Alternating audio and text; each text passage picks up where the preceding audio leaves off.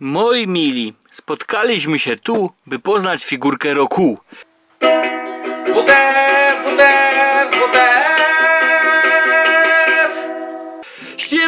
Klockowe świry! Dziś Shopi, Shopi wraca i nie żartowałem w tym intrze.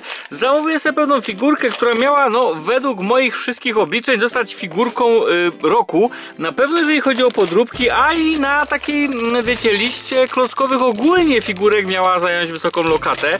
Nawet tak, tych z Lego.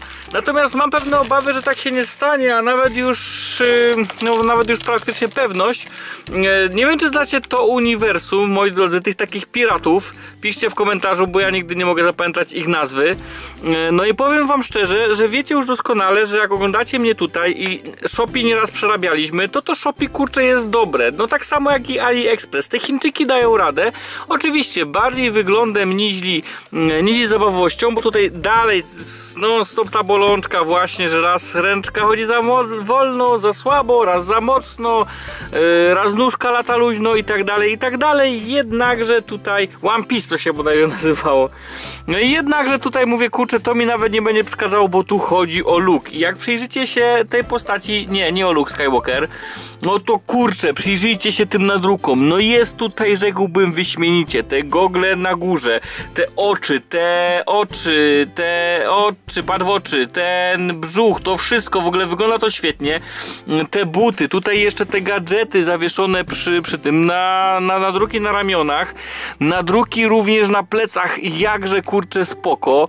No wszystko zapowiadało tu, że będziemy mieli do czynienia, spójrzcie jeszcze ten dół, mm, z figurką roku, ale... Ajajaj, moi drodzy, no niestety, ale psuje mi to cały look tej figurki, ten dół, no spójrzcie, po tak fenomenalnie zdrukowanych nogach tu, mm, no tu mamy jakąś mikrowatkę, ale wybaczam, zadrukowanych fenomenalnie z tyłu, no sami się przyjrzyjcie jak to wygląda, gdy sobie tą figurkę obracamy, no po prostu wygląda to nieciekawie, no ajajajajajajaj, szkoda, bo gdyby naprawdę ta figurka była zadrukowana jeszcze z boku, no kurczę, nawet chyba w moim KCU, czyli jednak legowym uniwersum, dałby mi jakąś ważną rolę w serialu, no bo mówię, jak się przyglądamy tutaj tym nadrukom, to one wręcz porażają, przynajmniej mnie, no ten, ten detal, tutaj katuszek jeszcze na klacie i tak dalej, wygląda to przegenialnie, przedobrze, a biorąc pod uwagę jakie śmieszne pieniądze to kosztowało, no i że w Shopie aktualnie mamy darmową wysyłkę, no to już moi drodzy, w ogóle, no jak widzicie tutaj, no faktycznie średnio chce się dopasować do klocków, ale mimo wszystko, mówię, look tej figurki jest tak, ale to bardziej widna klocka. Look tej figurki jest taki, że ja bym jej to całkowicie wybaczył.